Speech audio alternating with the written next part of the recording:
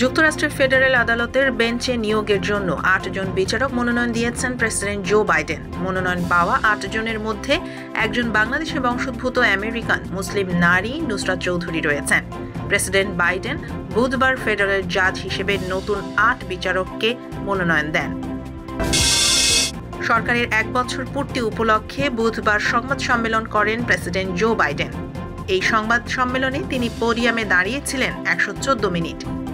একসময় তিনি বলেই বসলেন, তাকে যেন সহজ প্রশ্ন করা হয়। সংবাদ সম্মেলনে যখন অল্প কিছু প্রশ্নের উত্তর বাকি, তখন বাইডেন বলেন, আমাকে সহজ প্রশ্ন করুন, আমরা আপনাদের দ্রুত উত্তর দিতে পারব।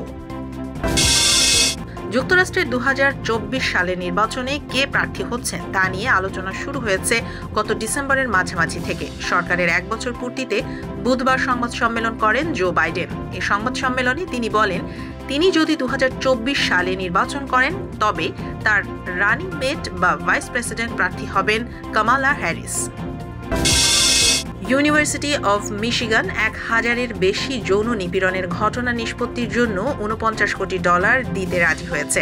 অভিযোগ যারা তুলেছেন, তারা বলেন প্রায় চার দশক ধরে বিশ্ববিদ্যালয়ের ক্রীড়া বিভাগের দায়িত্বে থাকা একজন চিকিৎসক তাদের যৌন নিপীড়ন করেছেন।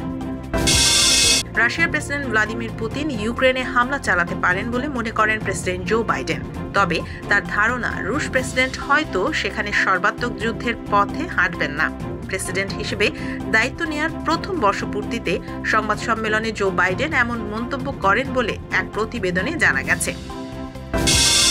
পররাষ্ট্রমন্ত্রী ডক্টর এ কে আব্দুল মোমেনকে ইংরেজি নববর্ষের শুভেচ্ছা জানিয়েছেন প্রেসিডেন্ট জো বাইডেন। বৃহস্পতিবার পররাষ্ট্র মন্ত্রণালয় থেকে পাঠানো এক বিজ্ঞপ্তিতে এ তথ্য জানানো হয়।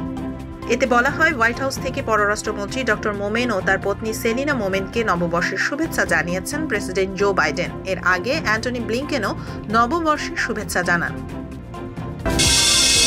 দেশে করোনায় আক্রান্ত হয়ে গত চব্বিশ ঘন্টায় আরও চার জনের মৃত্যু হয়েছে। এই সময়ে নতুন করে শনাক্ত হয়েছেন দশ হাজার আটশো আটাশি জন। শনাক্তের হার বেড়ে দাঁড়িয়েছে ছাব্বিশ দশমিক তিন সাত শতাংশে।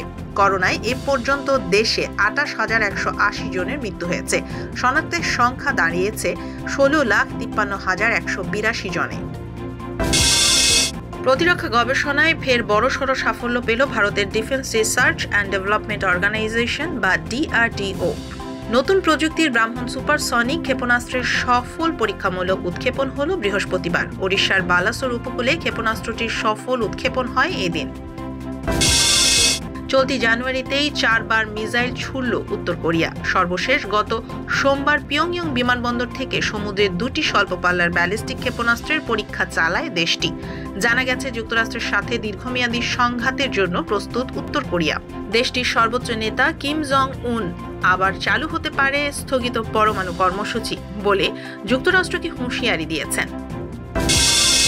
আইসিসি বর্ষসেরা টি টোয়েন্টি দলে ছিলেন মোস্তাফিজুর রহমান। বৃহস্পতিবার প্রকাশিত হল আইসিসির বর্ষসেরা ওয়ানডে একাদশ। এতে জায়গা করে নিয়েছে বাংলাদেশের তিন টাইগার, সাকিব আল হাসান, মুশফিকুর রহিম ও মুস্তাফিজুর রহমান। তবে টি টোয়েন্টির মতো ওয়ানডে দলেও জায়গা হয়নি ভারতের কোনো ক্রিকেটারের।